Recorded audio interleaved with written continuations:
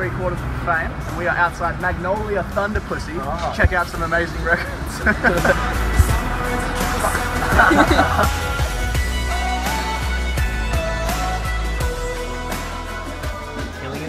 love this record because it's just blank. it's just white. The songs are great. Oh no, I love Gorillaz. Gorillaz.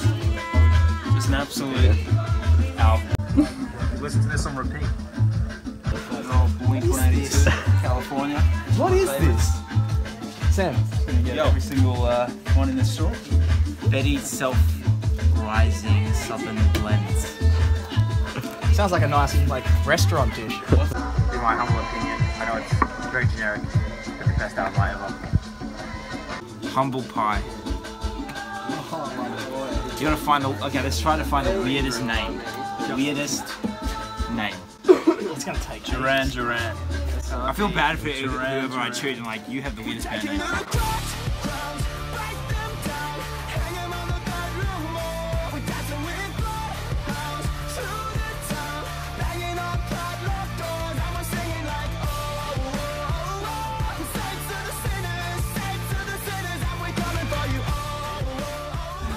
guys? For me, it's the Joshua Tree album because uh, this just got me into music in the first place. Just love absolutely everything about it. So unique.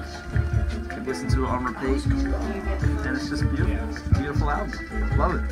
Check it out. Now I picked this because I was given this as a present on a DVD when I was like 10, and it inspired me to like form the first ever band I was in, which was like some cover band when I was like 10 years old.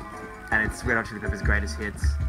It's got like all the big songs on there. Well, there's probably too many. They're not all the big songs, but you know what I mean. But yeah, this I remember this like just looking at this every day and watching it. Had music videos with it as well. Give it away music video. You seen that? Give it away. It's crazy. I haven't met one person who doesn't like Queen, and if they do, then they're not my friend. If they don't like Queen. But um, I don't know. The reason why I've chosen this one is because like when I was younger, the first thing I got into was like musical theatre, and my teacher at the time wrote like rewrote one of the songs. It was like We Will Rock You, and um, another one Bites the Dust, but it was based on like King Tutankhamun and Henry Carter.